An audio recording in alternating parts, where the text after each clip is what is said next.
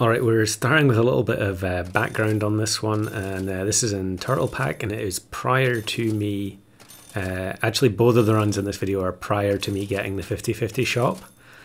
Um, so here you can see I am on uh, turn 21, 9 wins, and I am one can away from the 50-50 shop. You can see there the Scorpion is 49-49. However, instead of just taking the 50-50 shop at this point and accepting that that would be good enough for a video, I decided that I wanted to win with five snakes as well. And I think you can maybe tell where this is going to go.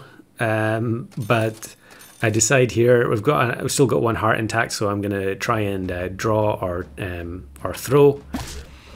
And uh, we get matched with this team, and I think it's going to be a draw because the uh, the squirrel has steak at the back, so that works out perfectly. Um, uh, when that actually, when that team came up, I actually was worried I was going to win at the time, but thankfully it was a draw. And then we get back to the shop. Turn 22, we can roll down, and we do not find another snake. Um, and so we just leave the lineup as it is and hope for another uh, tie or a loss and we get matched with um, Hedgehog Blowfish plus level 3 Skunk. So that means one of our 50-50 uh, snakes is going to get insta-killed. And all our, uh, our melon gets removed at the back as well. And unfortunately, um, this level 3 Blowfish is going to be uncooperative and I'm going to lose the 50-50 snipe here, which would have resulted in the draw. And I accidentally win with 4 snakes on turn 22 and I was gutted at that point because I had gambled on getting the five snakes and I had missed the chance for the 50 50 shop. Thankfully, I did get it a few days later, but at the time I was pretty annoyed with myself. Um, but I wasn't giving up on four snakes, but I was um, going to learn some lessons from from that uh, that run. And what I decided to do, to do in the end was when I got another setup going with, um, uh, you can see here I'm turn turn 12. i am only on three wins, so we're getting into the sort of draw gameplay with the hedgehog, and we're going up against other teams that have had really bad starts. I decided to just start getting the snakes in as soon as possible, and then I'll um, scale them with the cat conventionally rather than trying to get the, the shop to to 50 50. Now, I can't really remember exactly what happens in this run, but I think um, I actually uh, do do some shop scaling as well. We'll, we'll, uh, we'll see, I'm not sure. Yeah, you can see here what I decide to do is that I give up on the hedgehog and I get the two cats in. And the rate at which you can scale your team with double cat is extremely high. and we actually find another cat here, so that means I can next turn get a level 3 cat. And then I can bring the second snake in. And it doesn't take very many cows to actually, um, you know, get your pets to sort of 35, 50 kind of stats. And here we go against another a team that's pretty weak for turn 13, much like our own, I guess. Um, and we'll level up the cat uh, so we're going for the double cat, and I think I take the melon on the snake here because ultimately one of the uh, the snakes is going to have to go up front, and might as well get melon on it now. And here I'm deciding whether or not to sell the swan or the squirrel. I do still have three hearts, but I think the squirrel is uh, less valuable. And then we'll probably sell the swan once we get to the point of um, finding more uh, cows.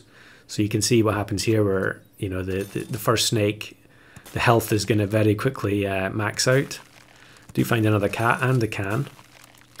So buying one can with a level 3 cat and level 2 cat is plus 6 6 to the shop.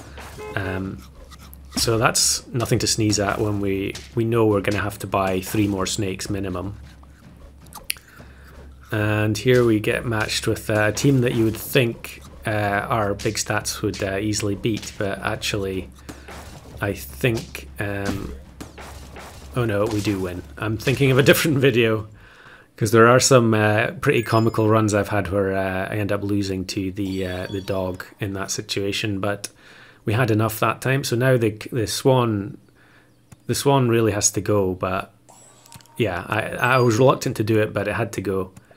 And now the cow is going to max out the the health on the first snake, and we actually roll another one, which is amazing. And here I think I take the level up with the uh, chocolate, and because I'm going to buy the can next turn. You can see the snake in the shop is starting on 1313, which is uh, pretty nice. And again, I mentioned this in the um, the 50-50 shop video, but a lot of the time you find that if you've had a really bad start and you're getting to this stage of the game, you're going up against a lot of teams that don't have good equipment, um, and that's partly why they're not uh, they haven't won. Um, so you're you're frequently getting matched with teams that do not have melon. So us having it on our front unit is uh, makes a big difference. And here we find another can.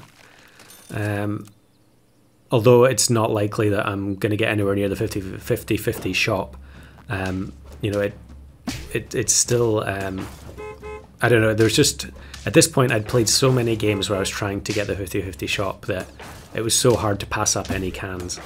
Um, it, and it kind of harkens back to the days when we used to buy them all the time. It was it's such a fun uh, fun thing to do.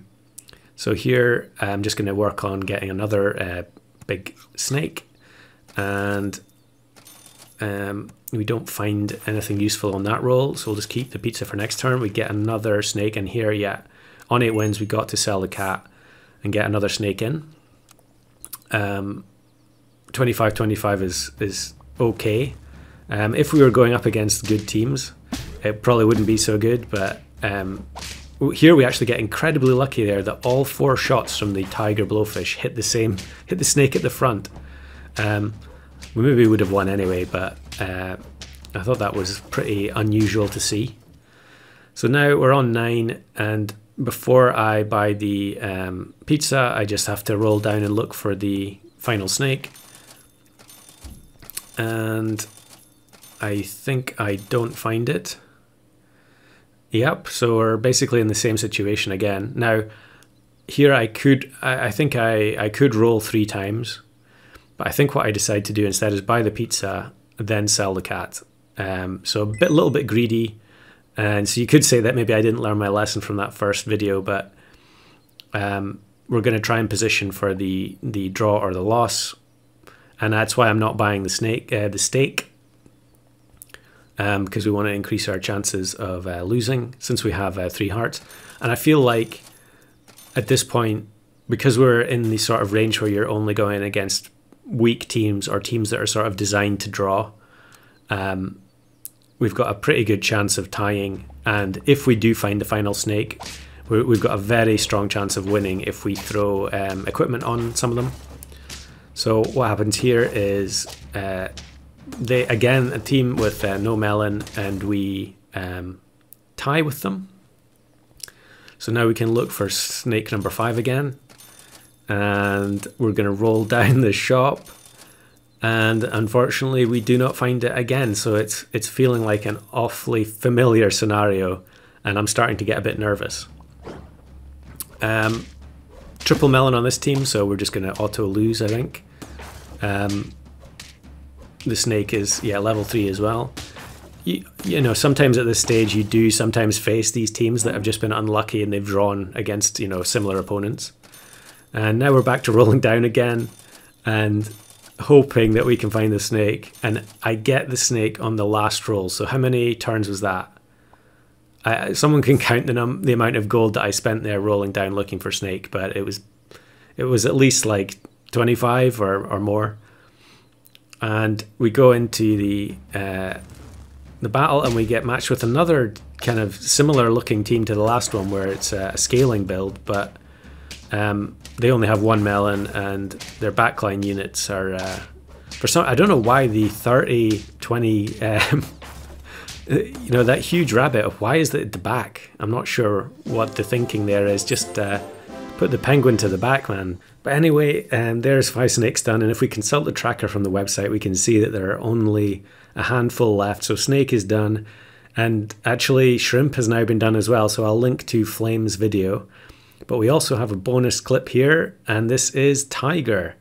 And I think uh, XRB got the 50-50 shop here. I'm not 100% sure, but I guess it's the same principle that you're, you know, you're taking the game to an extreme state where there's very few teams left. And you can see there, actually, he was on turn 32, which is incredible. So it also jumps up to the top of the longest runs uh, leaderboard as well.